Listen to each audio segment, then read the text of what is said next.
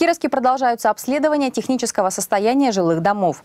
Юрий Кузин, глава администрации Кировска, лично контролирует выполнение поручений данных управляющим организациям по содержанию, устранению аварийности и текущим ремонтам.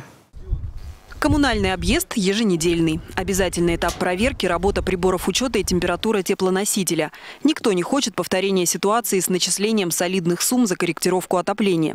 В этот раз обследуют три дома на улицах Ленинградской, Юбилейной и проспекте Ленина. У каждого свои особенности. В доме 7А на проспекте Ленина больное место – крыша. Проблемы есть, как с кровлей вот проблемы. Все равно они остаются текущим ремонтом их поддерживаем, но все равно надо бы, конечно, его заменять уже. С сетями есть, коррозия на сетях, э, заужен условный проход трубы внутри уже. Ну, старые сети, конечно. С ноября прошлого года в доме провели большой объем работ. Установили контрольно-измерительные приборы. Восстановили остекление лестничных клеток и изоляцию теплового центра и сетей. Очистили от мусора чердак и подвал. Вообще нужно сказать, что этот дом относится, как и многие другие, к проблемным и аварийным. Мы как раз разработали городскую программу по всему жилому фонду, которая позволяет проводить текущие ремонты, которые э, ориентированы на снятие аварийности. Э, планируем весенне-летний период э, активную ремонтную кампанию. Ну и задача в рамках капитальных ремонтов провести ремонты по наиболее аварийным домам или сетям или кровлям, или фасадам, там, где есть реальные проблемы с тепловыми потерями, с протечками, а, для того, чтобы эти проблемы в обслуживании жилого фонда. Остановка – дом номер 21 на улице Ленинградской. Его обслуживает управляющая организация «Партнер Плюс».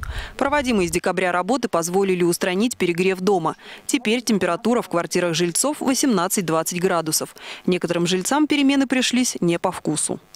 Они сказали, что мы готовы платить и за 22, корректировку мы уже заплатили, и зачем вы нам сделали так плохо. Ну, стремимся к тому, чтобы понять друг друга, вроде диалог есть, и стремимся к тому, что все-таки все должно работать, как это должно работать, правильно? Потому что если мы здесь поменяем, э, понятно, что гидравлический режим изменится и по городу в целом. Какой-то дом чего-то недополучит, они не смогут дальше передать да, тепло. Мы на этот дом заберем больше. Поэтому желание ХТК мы, естественно, должны выполнять. Это и законом предписано, либо, возможно, штрафные санкции. Из ближайших работ, которые запланированы управляющей организацией, приведение в надлежащее состояние части стыков стеновых панелей. Кроме того, жители обратили внимание главы администрации на плохую расчистку тротуара за домом. Проблему обещали решить в кратчайшие сроки. Город заинтересован в снижении травматизма жителей. В ноябре уровень травматизма еженедельно был 35-37 человек, то сейчас 3-5 э, человек. Это очень хорошая динамика. Но целевой показатель 0, конечно, ЖКХ э, там, не принимает его э, в таком виде, но к этому надо стремиться. То есть люди не должны травмироваться ни на городских, ни на внутридворовых, ни на межквартальных территориях.